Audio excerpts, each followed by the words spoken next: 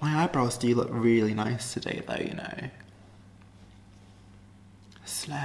Hey guys, it's Curtis. I hope you're doing okay. I'm okay, and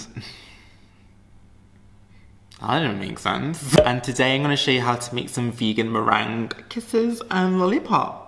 So I started making vegan meringue around the end of July because I had like an eggless cake to make and like I was like what am I going to decorate this with? Because I use meringue a lot for like making lollipops and meringue and just all sorts of other stuff. So I was like I need to do something so I thought I'd have a go at making some vegan meringue. I remember my previous head of pastry mentioned briefly how I could do that so I was like I just kind of winged it and this is the cake I made. I'll put it on screen and um, yeah, it came out really, really well. I did have a few issues though. I did mention this on my Instagram. So when I had another eggless cake to make around the start of September, and I made a couple of changes, and they were like almost perfect. So I was like, okay, let's show you guys how to make them. So, um, yes.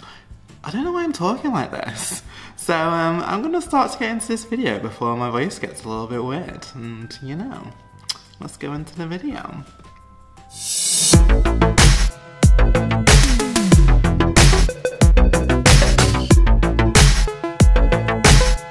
So the secret ingredient, what you're going to be needing for these vegan meringues is something called aquafaba. Now aquafaba is just a really posh word for chickpea water basically. So you know like cans of chickpeas, I've got one right here.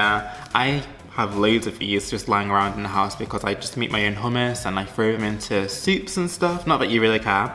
But basically you'd usually just kind of drain off the water that's in here and just have it go down, go down the sink rather and you'd never see it again. So what you're gonna need to do is save that water, weigh that aquafaba. I'm gonna say chickpea water because I feel like an absolute weirdo saying aquafaba. So you're gonna weigh that chickpea water and you're gonna keep that in mind for your next ingredient. So your next ingredient, what you're gonna be needing is some icing sugar. The weight of our icing sugar what you're gonna need is double that of your aquafaba, and that's really the ratios that you need for this. It's as simple as that, really. I'm gonna put my chickpea water into my stand mixer with a whisk attachment, and I'm gonna whisk this up until I get soft peaks. So basically you're using this aquafaba like you would for a normal sort of egg white. Now the science behind this, apparently, my, my former head of pastry told me, so I don't know this for facts. Basically, apparently, the chickpea water has a sort of a similar protein buildup as um, egg whites, so you sort of end up with like a similar product. Now I will tell you that this takes a little bit longer to get to a soft peak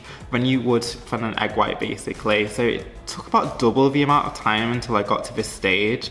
And basically I want it so it's starting to sort of make a ripply sort of effect. I don't know if you can see, I'm kind of pointing to it right now and I'm giving you a thumbs up, which is basically telling you that you can start to uh, add your icing sugar in at this point. So once you got to this point, adding your icing sugar one spoonful at a time. You don't want to add this all in at once, otherwise you're to end up sort of deflating that meringue which you've just sort of worked hard to get to. So yeah, just add your icing sugar in one spoonful at a time. Now, I would usually, for a meringue, use caster sugar. And the reason why I'm using icing sugar is just that when I first did this, I used caster sugar. And it was really, really granular. And when you have a granular meringue, you're gonna run into a whole host of problems. So I found that using icing sugar just helped it sort of absorb a lot better and I didn't have as many issues as I did. Now I'm just sort of scraping around the side of my bowl because I don't know if you can see there's lots of icing sugar just sort of pushed up against it. I want to make sure everything is fully incorporated. So I'm gonna keep mixing this. This does take, again, a little bit longer than it would for a normal meringue, about double the amount of time.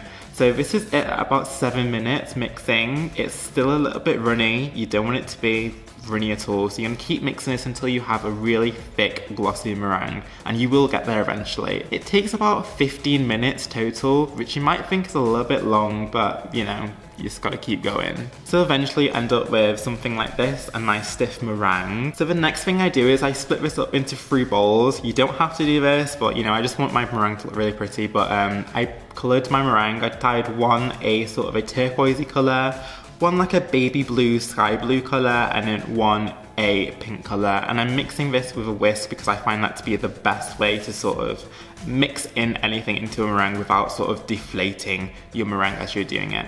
So once I've got all my colours, I'm gonna put that in a piping bag fitted with a star nozzle. So I'm just piping some meringue kisses, just like I would any sort of meringue really. And I'm also doing some swirls. I just want to do like lots of different things basically. Um, so yeah, I'm just going along my baking sheet line with some parchment paper and going along. Ooh, ooh. That meringue kiss looks a little bit dodgy, doesn't it? And now I'm doing some meringue lollipops. So what I'm doing is I'm just doing some little rosettes along my uh, baking sheet and doing some really small and some kind of like a medium size. I like to do them all like various sizes when I do meringue lollipops. I'm just inserting some lollipop sticks into my meringues. And once I've done that, I'm gonna put my meringues into a oven at 100 degrees centigrade. I'm gonna bake it for about an hour. It may need to take a little bit longer for the meringue lollipops because they're a little bit bigger, so obviously it's gonna take a little bit longer to dehydrate. So maybe like an hour and a half for them. But once they're done, they should look something like this. Now I will say that not 100% perfect. You will end up with some of them cracking like this one has here. Um, I find that to be really unavoidable. Um, but they don't look too bad. And look on the inside, they look like actual meringue. And they taste like meringue as well. Well, I'm being, I'm actually lying a little bit there. They don't taste exactly like a meringue. Like they taste kind of like a sugar-coated cornflake. Like, you know Frosties? Like, I don't know if like the whole world has Frosties, but I'll explain. Basically, it's a cornflake coated with some sugar and it's just, yeah, it's really, really nice and sugary and unhealthy. But it kind of tastes a little bit like that. It has like a little bit of a cornflakey taste. I don't know if that's because it's chickpea water I don't know. But yeah, it kind of tastes a little bit like that. But I think for a vegan alternative, torn, alternative?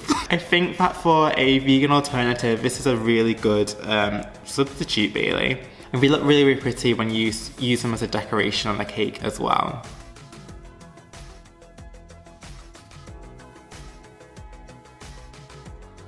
If you love these vegan meringues as much as I do, then make sure you give this video a big thumbs up and subscribe to my channel if you haven't already. Both those buttons are just down there, so make sure you click both of those. That'll make me very, very happy. And follow me on all my social media bits. I'll leave the links for those all in the description box below. So you can check me out on there, see what I'm up to in the kitchen and in life and I don't know if you care but yeah you can if you want to you don't have to but I'd like it if you did. And um, yeah I'm gonna leave this video here. I don't really have anything else to say. So I hope you all have a wonderful wonderful week and I'll see you all in my next video. So until then take care and bye